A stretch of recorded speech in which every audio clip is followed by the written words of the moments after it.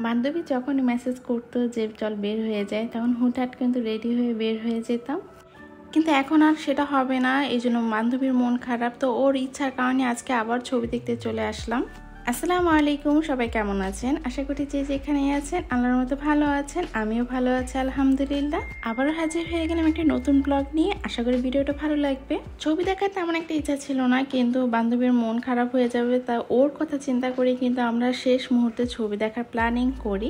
আগে যেহেতু ওর বাসা খুব কাছাকাছি থাকতাম, তো যখন তখন বের হয়ে যেতাম, কিন্তু এখন যেহেতু দূরে চলে যাচ্ছি, তো ওইভাবে আর বের হওয়া যাবে না, এজন্য ওর একটু মন খারাপ। তাই তো আমাকে বলছিল যে একবার হলো ওর সাথে ছবি দেখার কথা, তো শত ব্যস্ততার মাঝেও ওকে না করতে পারলাম না। তো অবশেষে আমরা ছবি দেখতে চলে আসি।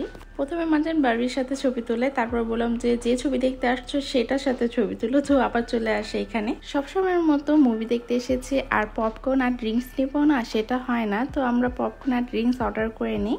প্রতিবারই যখনই মুভি দেখতে আসি, তখন মাজানের প্রচুর ঠান্ডা লাগে, তাই ওর জন্য এক্সট্রা একটা জ্যাকেট নিয়ে এসেছি, যাতে ভিতরে গিয়ে ও এটা পরবে আর হচ্ছে ওর ঠান্ডা লাগবে না তেমন।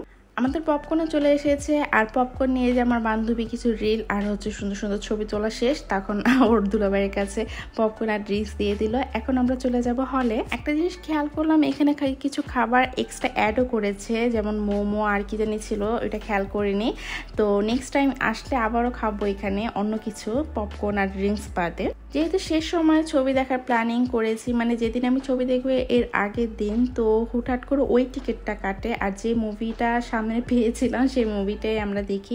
আর এটা ছিল একটা থ্রি মুভি এর আগে আমি কখন থ্রি মুভি দেখি নেই। কিন্তু আমার বান্ধবী প্রায় মুভি দেখে। ও এগুলো দেখে অভ্যস্ত। তারপর ওকে বললাম যে, তোর কাছে যেটা ভালো লাগে, যেহেতু তুই চাচ্ছিস তো তোর মতোই টিকিট কাট। তো অবশেষে টিকিট কেটে ফেলে। মাজান কিন্তু জান্নাতকে অনেক বেশি পছন্দ করে। এখানে আসার পর কিন্তু ও জান্নাতের সাথে বেশিরভাগ সময় ছিল, এমনকি জান্নাতের সাথে ও বসে পড়ে। আর দেখতে খুব বেশি মজা লাগছিল। অন্ধ মানুষের মতো একটা চশমা ধরিয়ে দিয়েছে। এটা পরে নাকি দেখতে হবে থ্রি মুভি। মানে একটু সুন্দর দিলেও হতো, দেখতে কেমন অন্ধ অন্ধ লাগবে। আর এদিক দিয়ে মারজান ও রান্নির দিকে তাকিয়ে আছে, বারবার ও সেলফি তুলছে আর সেটা ও দেখছিল। আর ও পপকর্ন খাওয়া কিন্তু শুরু করে দিয়েছে। আর একটা হরর মুভির ট্রেলার শুরু হয়ে যায়, তখন আমি মারজানের চোখটা বন্ধ করে করে দেই। ও আমাকে বলছিল, কোনো হরর মুভি দেখব নাকি? কিন্তু আমার হরর মুভি হলে গিয়ে দেখার মতো সাহস আমার নেই, তো আমি ওটা দেখার জন্য না করে দেই। আগে না আমরা সব কাজিনরা কিংবা ফ্রেন্ডরা মিলে অনেক হরর মুভি দেখতাম, কিন্তু ইদানিং না আমার দেখার সাহস হয় না, প্রচুর ভয় লাগে আস্তে আস্তে ভীতু হয়ে যাচ্ছে। হয়তো এখন আমরা একসাথে নেই, অনেক দূরে দূরে মানে একসাথে বলতে আমরা কাছাকাছি থাকি না, হুটহাট করে দেখা করতে পারি না, কিন্তু এসব স্মৃতিগুলো না সবসময় সাথে থাকবে, অনেক ভালো ভালো সময় আমরা কাটিয়েছি। যাই হোক মুভিটা কিন্তু মোটামুটি ভালো ছিল মাঝানো বেশ সময় ধরে দেখেছি, কিন্তু শেষ পর্যায়ে কিন্তু বলছে যে, আমাকে মোবাইল আমি কার্টুন দেখব, এই মুভি দেখব না। তারপর মোবাইল নিয়ে বসে পড়ে, আর এখান দিয়ে আমরা রিল্যাক্সে মুভি দেখতে পারছিলাম। কারণ ও নাকি বারবার বিরক্ত করতো। এটা জিজ্ঞাসা করে, সেটা জিজ্ঞাসা করে। মানে কখন মুভি শেষ হবে, ও কখন বের হবে। অবশেষে আমাদের মুভি দেখা শেষ। এখন আমরা বের হয়ে গিয়েছি। আর আমার বান্ধবী এখানে একটা ছবি তোলার জন্য ওয়েট করছিল যাতে পিছনে মানুষগুলো না থাকে। ও কিন্তু তুলতে পারেনি। তো আশেপাশে ঘোরার পর আমরা রিক্সা দিয়ে যখন রওনা দেই, তো হুট করে দেখি যে দুই নম্বরের সেই পানিপুরি। এর ভিডিও মনে আমার আগেও দেয়া আছে। আমি লিঙ্ক ডিসক্রিপশন বক্সে দিয়ে দিব। চাইলে দেখে আসতে পারেন। এই পানিপুরিটা কিন্তু আমার বেশ ভালো লাগে। যারা মিরপুরে থাকেন, তারা কিন্তু অবশ্যই পানিপুরিটা ট্রাই করতে পারেন। আমি জানি অনেকে অবশ্য ট্রাই করেও ফেলেছে, কারণ এখানে যখনই যাই প্রচুর পরিমাণ ভিড় থাকে। যখন আমরা যাই তখন বিকাল ছিল, আর মামা তখন মাত্র দোকানটা লাগিয়েছে, সব কাট ছিল আর সব কিছু ঠিক করে নিচ্ছিল।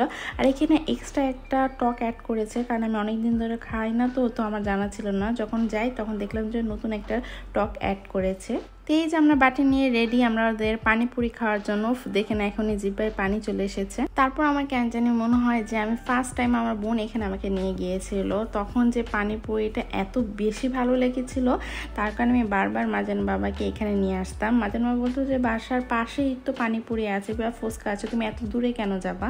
তারপর আমি তাকে এখানে নিয়ে আসতাম। কিন্তু ইদানিং লাস্ট কয়েকবার যখন গিয়েছি, তখন আমি সেই টেস্টটা পাই না। ভালো লাগে বাট যে আগে যে মজাটা পাওয়ার কারণে আমি বারবার ছুটে এসেছিলাম, সেই মজাটা আমি পাচ্ছিলাম না। এরই মধ্যে মাজান বায়না করছিল যে পাশেই নাকি এরকম বেলুন ফুটাচ্ছে ওইগুলো করবে। তো আমরা বললাম যে ফুচকা খাওয়ার পর তোমাকে নিয়ে যাব। তো কথা অনুযায়ী ওকে নিয়ে যায়, আর ও খুব মজা করে কিন্তু এক একটা বেলুন ফুটাচ্ছিল। ও সুন্দর করে কিন্তু ফুটাতেও পারছিল, আর এক একটা বেলুন ফুটছিল, আর ও কি খুশি। ও ফোটানোর পরে কিন্তু আমার বান্ধবী ফোটায়। তো ও ফোটাচ্ছিল, আর ওকে আমি বেশ কিছু ভিডিও করে দিই আর ছবিও তুলে দিই। এই ছোট ছোট জিনিসগুলো না স্মৃতি হয়ে থাকে। যখন আমরা অনেক দূরে থাকি, তখন না এই স্মৃতিগুলো বেশ মনে পড়ে না আর ভালো লাগে। ইনশাল্লাহ আবারও দেখা হবে, খুব তাড়াতাড়ি দেখা হবে। আর এরকম হুটহাট করে বের হয়ে যাবে ঘুরতে। আজকের ভিডিওটা কিন্তু এই পর্যন্তই। আশা করি ভালো লেগেছে। যদি ভিডিওটা একটু ভালো লেগে থাকে, তাহলে অবশ্যই লাইক কমেন্টস এবং শেয়ার করবেন। আর আমার ইউটিউব চ্যানেলটা সাবস্ক্রাইব করে পাশে বেল আইকনটি ক্লিক করবেন। আর চাইলে কিন্তু আমার ফেসবুক পেজেও ফলো করতে পারেন। লিঙ্ক আমি ডিসক্রিপশন বক্সে দিয়ে দিব। তো আজকে এখান থেকে বিদায় নিয়ে নিচ্ছি। সবাই আমাদের জন্য দোয়া করবেন। ধন্যবাদ। আসসালামু আলাইকুম।